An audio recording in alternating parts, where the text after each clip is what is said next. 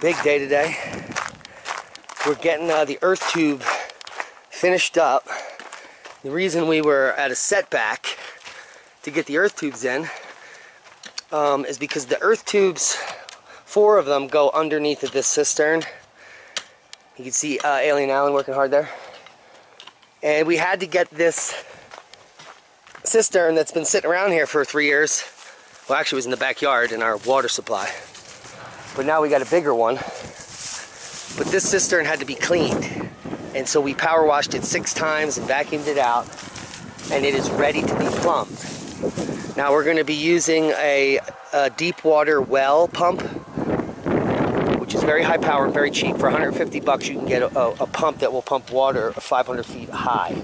But this is only going to be pumping at 12 feet into the greenhouse.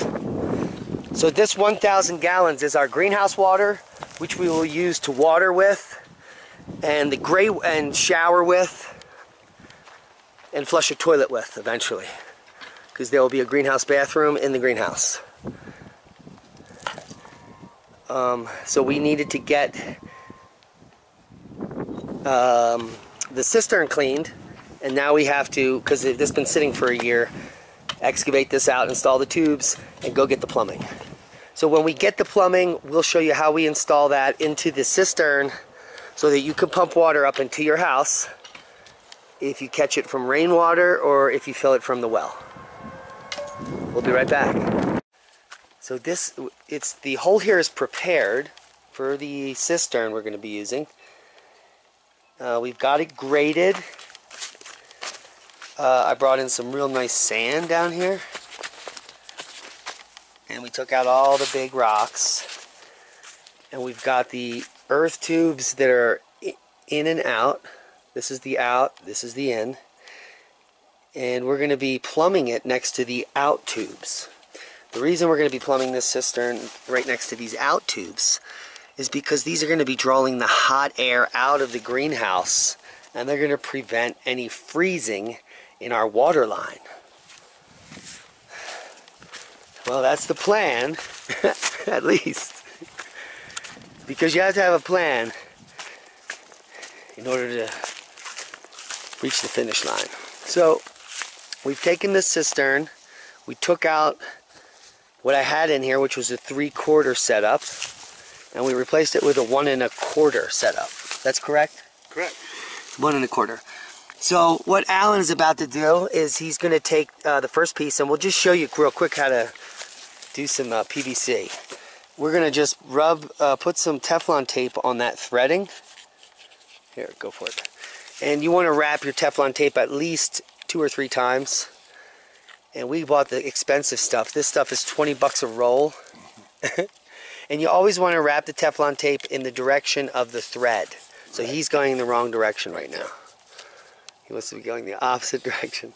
So you just look at how the threads go on the plastic and you wrap it in that way.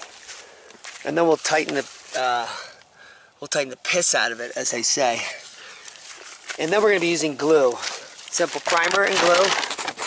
Standard PVC stuff and PVC joints to plumb it. But before we plumb it, we've, uh, like I said, Allen power washed this. So it is ready to go. And we've, uh, then we have to put in the well pump, which is to go right here. Lots of ways to get water out of a cistern. You can pump it from inside the building and just uh, plumb it up. But we're going to use a very high power economical way to pump water from a cistern into your house. And that is to buy a deep well pump. So this is a deep well pump that you would normally slide down a well casing, you know, 200 feet down, and the water would be pumped out of here. And then it would be pumped up this inch and a half, or inch and a quarter, my, my bad, um, all the way up. And, can, and this one can go up to like 600 feet. So we have 600 feet ahead here on a very high power, I believe it's a half horsepower, um, 8 amp, and if you use this inside your cistern, can you imagine the water pressure you would have? And not only that, these are now available so cheap. I picked this one up. It has a 15 year warranty. It is brushless, and they don't break. And I got it for $150 delivered. And it weighs like 40 pounds. You felt it. This thing is substantial. So all you got to do is take that baby and plumb it right here on the bottom of this. Just I'm going to connect it right here and lay it in. And then you have to set your cistern at a slight angle so that the pump is laying down like that and so that none of this sediment that collects down here uh, affects the pump. You can go flush if you want if you're going to keep your cistern super clean and we are. But it's also nice to have that little kickback so that you can catch the sediment in the back. So that's our design and we're going to stick with it. And that thing is massive. That's three feet long, isn't it? Yep. Yeah. So we'll show you how it comes when it comes. And we're going to try to get this tank set today, backfilled and plumbed. And if we do that, that will be a boom. Do not try this at home. She's gonna help.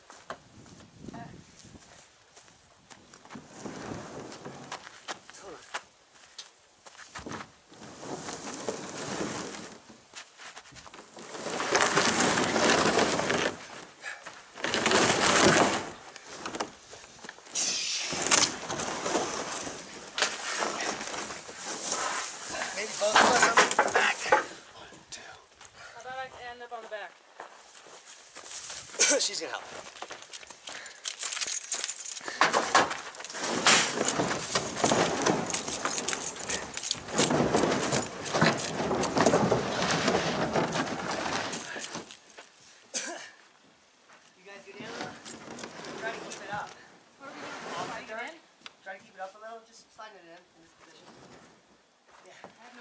at this point.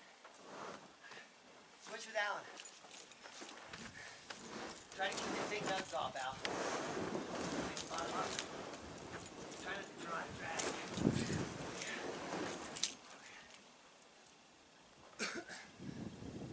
Go your, your end in. Yeah. Done. Hola! Thank you. Yay! Okay, I gotta go. Bye. Goodbye. Teamwork.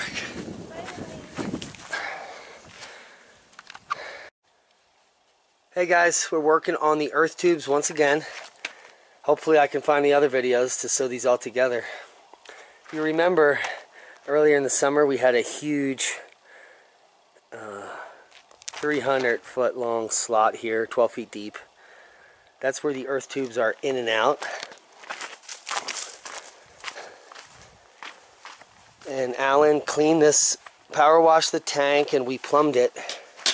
And we backfilled it. This has taken maybe five or six 10 ton dump trailers full, and it's still not full. We have to bring this grade way up. But we're getting there.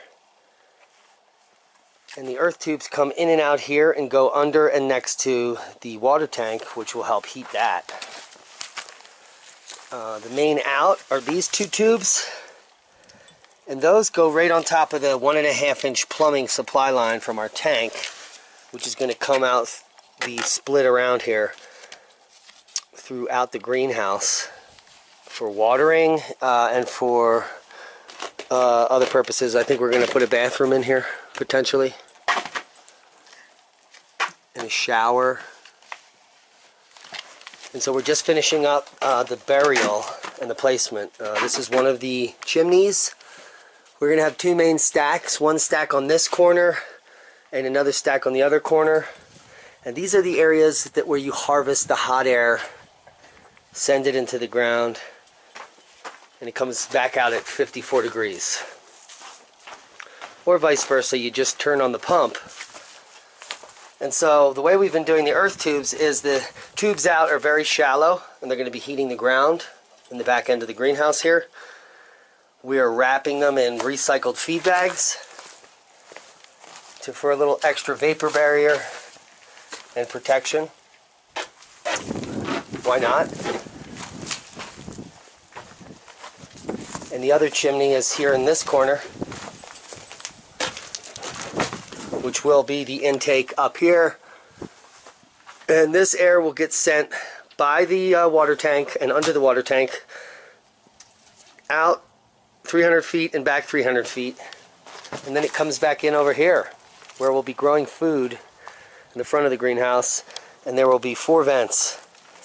One, two, Alan's making three, right about there. And there's four. So these are the four air conditioning vents or heaters, however you want to look at it, that will pump 54 degrees into the greenhouse at all times when we turn on the fans. Now this allows you to have a 54 degree low temperature in your greenhouse, which is uh, extremely tropical. You can grow anything on the planet in a geothermal greenhouse that uses earth tubes. Now this is a closed loop earth tube system. This morning we got out here and worked for like 47 or more minutes and put the base plate in here. no, how long did that really take, Alan? To put this plate in? About an hour? not very long at all, about an hour. About an hour. And so uh, our plan is once we get all the tubing in and backfilled to quickly frame this out and close it up for the winter so we can work inside. That's going to take us ordering a whole lot of glazing for the greenhouse and we really haven't decided how- what that's going to be. So that's our earth tube tropical greenhouse system and that's what we're doing. Subscribe to the channel, share this with like-minded people. Thanks for watching. Be safe.